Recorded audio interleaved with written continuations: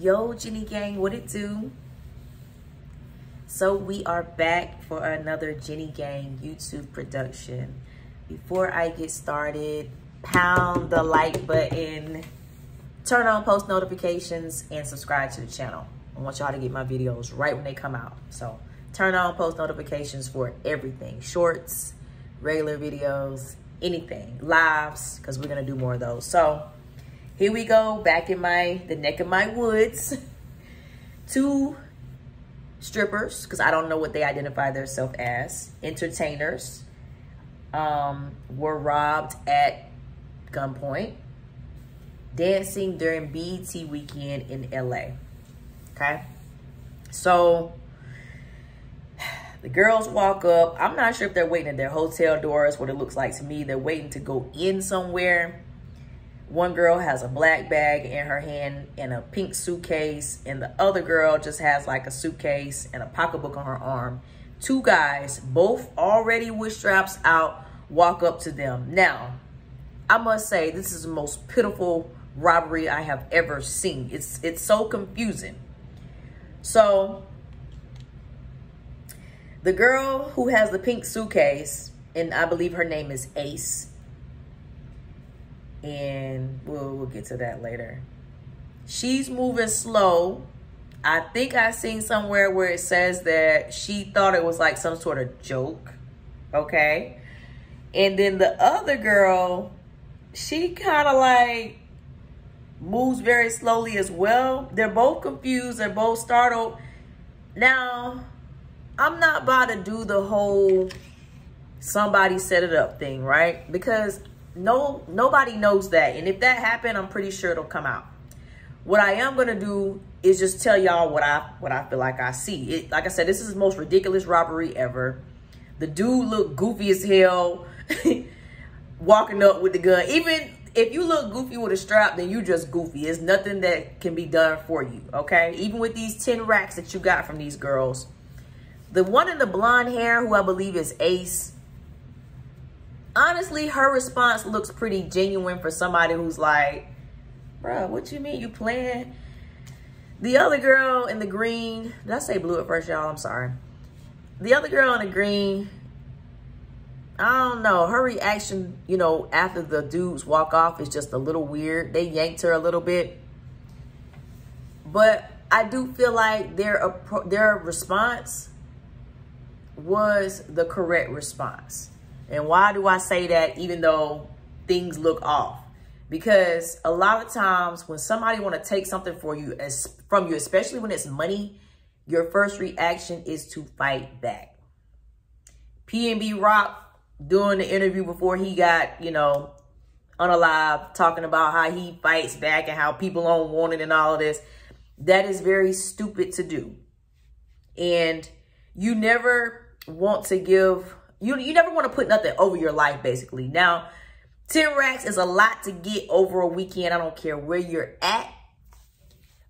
But you can actually make 10 racks again. Had this goofy gunman, you know what I'm saying, taken their lives, then they wouldn't have had any other opportunity to do anything else because there wouldn't have been any life.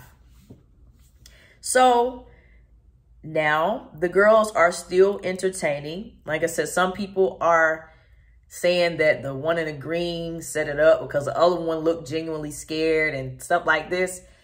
And do I want to say this? Okay, let me say it.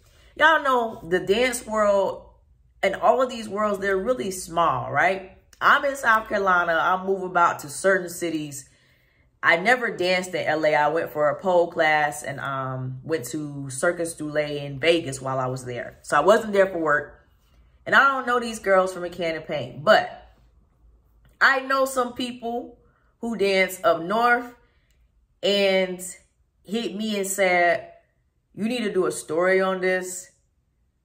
But one of them people in that video has somewhat of a reputation for setting other girls up that she works with.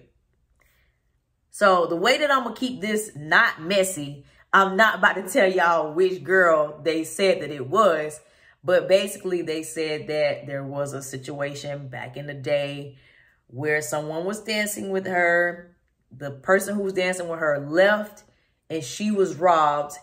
And the girl felt like, just based on energy and how it happened and the fact that she had left, she felt like old girl who stayed back had called somebody and set her up. And like I said, this is one of the girls in this video who just was robbed during the BET Awards. So I said, okay, even though I don't know if that's true or not, that's alleged. I say where it's smoke, there's usually fire. But what if the girl was wrong? What if, you know what I'm saying, somebody just robbed her that night and they just robbed her. They just was watching her moves because that's obviously what happened in this video. But if it's true, then I would say karma has come back to, or the chickens have come back to roast or whatever. Only time will tell. People are surprisingly sympathetic to this because, like I said, I, am reading the comments. I'm actually very proud of y'all on Instagram. Y'all are not downing. Y'all not like, oh, they dances, they don't deserve it. Y'all talking really nice in these comments. I, I want to let America and whoever else is in these, the neighborhood talk comments.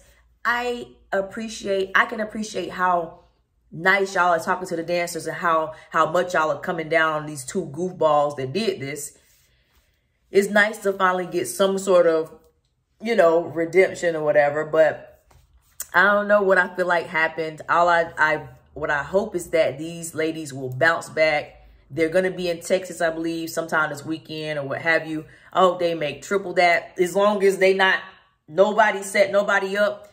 I really hope the best for them and for the other dancers or anybody who is doing, you know, your hustle, anything. You you really can get robbed at Walmart. You can, these old ladies are going to the ATM and getting robbed for 50 and $60. You just got to be careful. You got to watch your surroundings. You might got to take a little extra trip home or whatever. Like, I love, it's, I, I love and hate how intermittent my schedule is. I really do. Okay. But you got to keep folks guessing and you also got to keep that thing somewhere close because I'm not going to lie to y'all these two right here would have been meeting they maker. As soon as they walked up, ain't no such thing as a joke or anything. Whenever I meet people and they too close to my house, right? Meaning like they might see me, oh my God, Jenny, you, you, this is where you live. I get uncomfortable, right? Because I don't ever want to have to put it, I don't ever want to have to send nobody on their way. But that happened to me one time, right? I'm coming out of my door a, a Jenny gang, we're to call him gang. He's coming out of a door with somebody else. And he's like, oh my God, Jenny. And I'm like, yeah, you know, I'm speaking, but I ain't speaking how I was speaking in public. I'm like, yeah, you know, it's me, but you know, go on. So made me a little uncomfortable, but he was cool. He was just, you know, being an admirer. So why one night when I worked locally, I came home from work. It's five o'clock in the morning. This same person that I'm talking about who was so ready. Oh my God, Jenny Gang, whatever. He came to my window at after four o'clock in the morning when I'm getting home, trying to have a conversation with me. Let's just say the creator was with him that night because I wasn't prepared. But had I had my ish, I wouldn't have asked any questions or tried to figure out he didn't understand why he got cussed out or whatever, and, you know, and I didn't go on to tell him like, bro, you can't even play like that. I don't even care what you wanted at this hour. I just got off. My mind is already, you know, my mind thinks how it's supposed to think, not paranoid, but I'm always moving aware. But when I look up and I see this dude in my window, y'all, I, I, I actually was happy I didn't have the thing since he wasn't a real threat, but you, y'all, you just got to be careful. But anyway, Y'all let me know what y'all think about this situation. Let me know if you've seen the video, if you feel like somebody moving funny, or if you feel like, you know, they genuinely got robbed. I feel like it's genuine, but only time will tell the truth. Like the video, subscribe to the channel, and turn on post notifications so you will never miss my uploads.